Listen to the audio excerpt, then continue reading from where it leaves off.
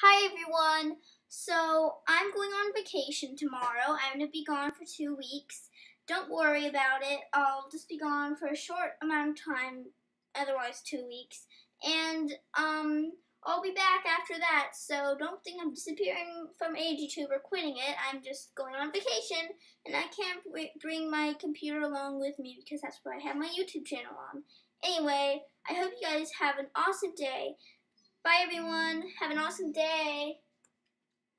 Bye. And I'll be back in two weeks.